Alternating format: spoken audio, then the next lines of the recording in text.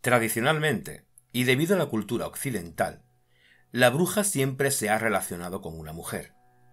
Pero lejos de la realidad, la brujería ha sido muy practicada también por hombres, aunque a estos se les han relacionado más como chamanes, videntes o clarividentes.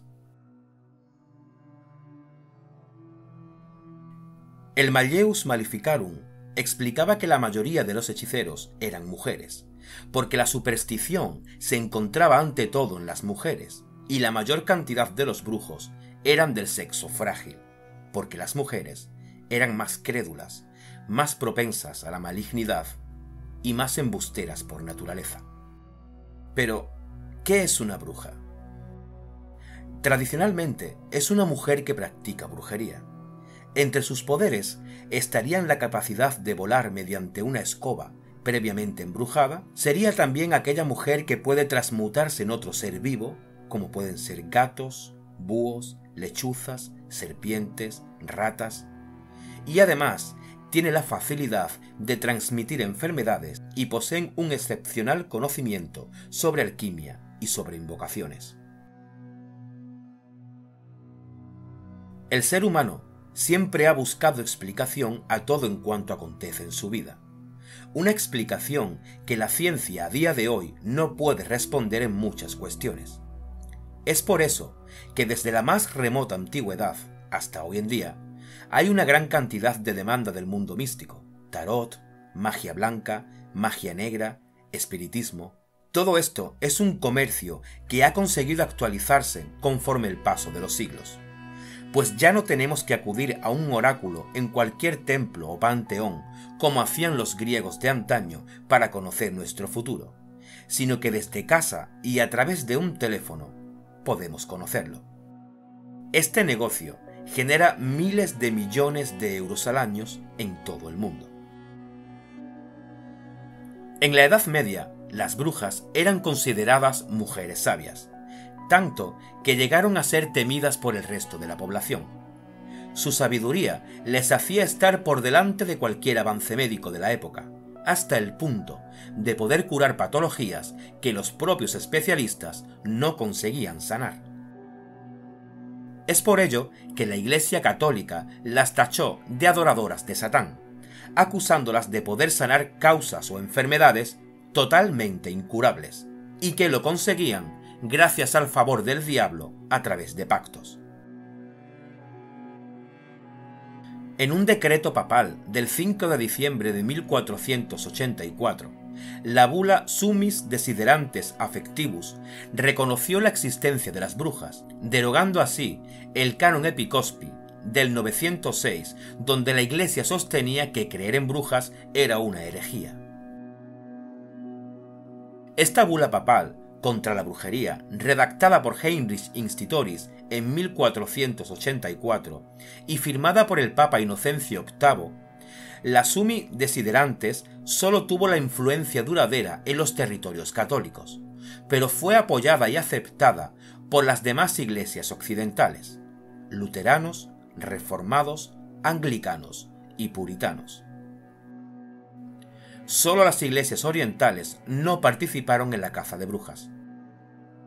Durante el siglo XV, la Inquisición se dedicó a quemar más herejes que brujas, y cuando los estados feudales se organizaron como monarquías independientes del Papa, el poder punitivo se trasladó de la Inquisición a los jueces laicos de estas monarquías, quienes continuaron la tarea de la Iglesia de quemar brujas hasta bien entrado el siglo XVIII. Los procesos en caso de brujería se hacía según el siguiente sistema. Primero iba la acusación. A menudo precedía a la acusación una fase de rumores que podía durar años. La acusación podía ser debida a una denuncia de una bruja o brujo que ya había sido detenido, posiblemente bajo tortura. Rara vez se permitía a las presuntas brujas una defensa. La segunda instancia era la detención, las cárceles, en el sentido moderno, todavía no existían, por lo que se mantenían a los presos en mazmorras o torres. Las llamadas torres de brujas, que todavía se conocen en muchos lugares, no eran exclusivamente para brujas, sino para todo tipo de prisioneros. A menudo eran simples torres de las murallas de la ciudad. Posteriormente iba el interrogatorio. Normalmente se distinguían tres fases, el interrogatorio por las buenas, el interrogatorio con explicación y muestra de los instrumentos de tortura, y el interrogatorio doloroso, en el que se empleaba la tortura.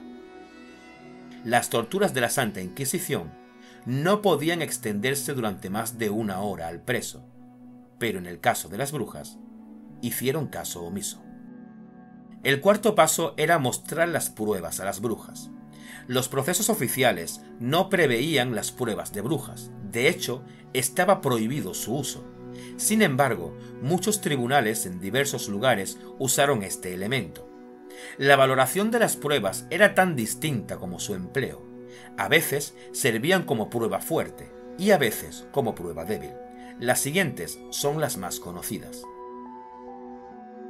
Estaba la prueba del agua, también llamada baño de la bruja, de la que existían dos variantes. Con agua caliente, el acusado debía sacar un objeto del agua hirviendo. Con agua fría se descendía la víctima atada a un pozo y si se hundía resultaba ser inocente. Proceso en el que podía morir ahogada. También está la prueba del fuego. Esta se empleaba pocas veces.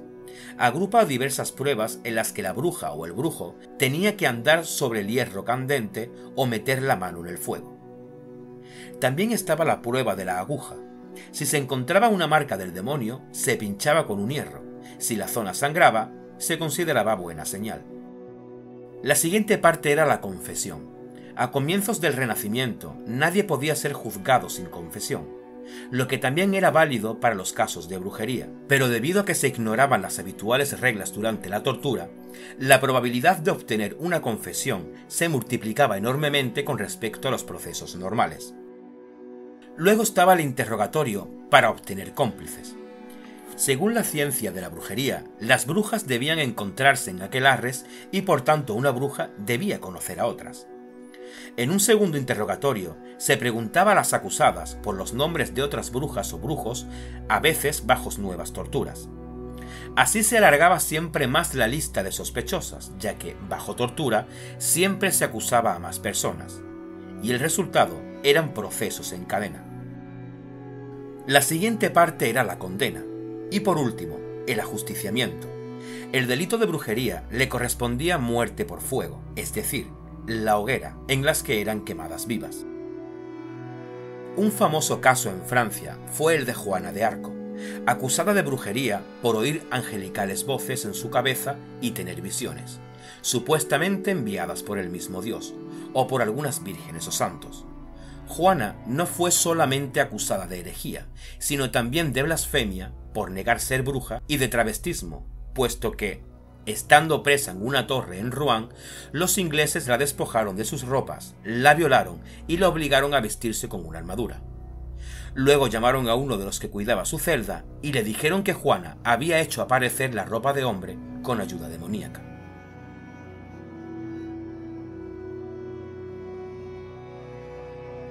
La Iglesia Católica prohibió en 1657 las persecuciones a brujas, a través de la bula proformandis.